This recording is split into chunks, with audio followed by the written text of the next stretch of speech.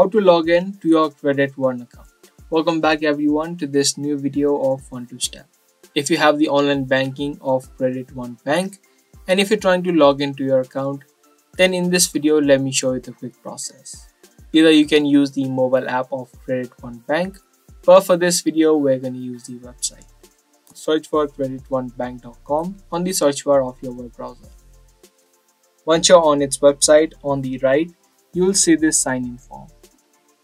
To fill in this form, you'll need to type in your username in the first box and then type in the password in the second. If you want to recover a username or the password, just in case you have forgotten them, you can click on the forgot username or the forgot password and follow further steps to recover it. And lastly, if you want this device to remember your username, you can check this box. And now you can click on secure sign in and you'll be immediately signed in your Credit One online banking. So that was the video. I hope you guys found this video to be helpful. If you did, be sure to subscribe, share and also give this video a thumbs up. That's going to be all for today's video. Thanks for watching.